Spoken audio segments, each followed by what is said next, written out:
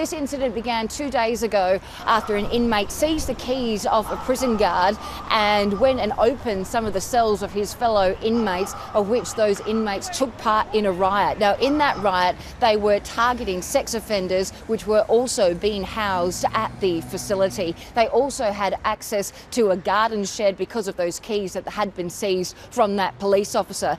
Now, the ABC has obtained an image of items that were reportedly used within uh, that riot. You can see that there are some items there tennis rackets, also a whippersnipper, and a garden rake, which were reportedly used within that part, forming part of that police investigation now. Now, we have got word that uh, those inmates, 21 people, have now been charged. Uh, most of them, most of those used will be appearing via video link at Woy Woy Children's Court, but there are five adults which will be uh, facing the Gosford Court. One apparently uh, appeared yesterday, but four men will be appearing here at the Gosford Court. Now, the reason why uh, those four men who are adults were being housed at the juvenile facility is that under the laws, juveniles who uh, do commit crimes and are committed to serve their time at these juvenile detention centres can serve out the duration of their sentence regardless that it goes into the early years of adulthood.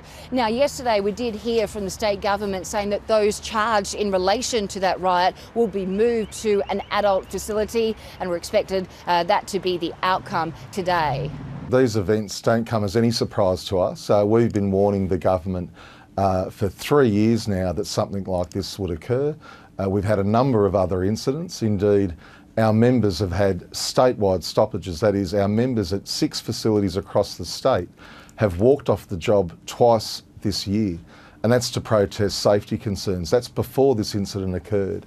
Um, really, this has its genesis back in 2015 when uh, the juvenile justice system lost what was then the Kariong facility, which adjoined Frank Baxter.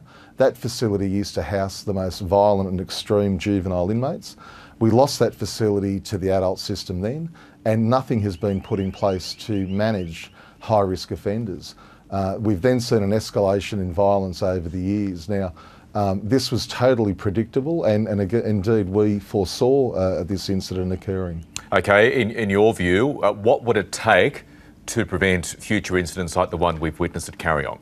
Our concern is, is that things may well be past, um, you know, uh, being able to come in and fix it quickly. We think there needs to be a proper judicial review.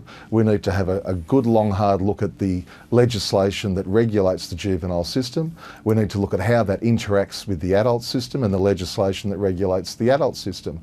Uh, we need to look at the powers that are given to youth officers to deal with these types of disturbances, and we need to look at segregation. I mean, we had sex offenders uh, that were housed in the general population.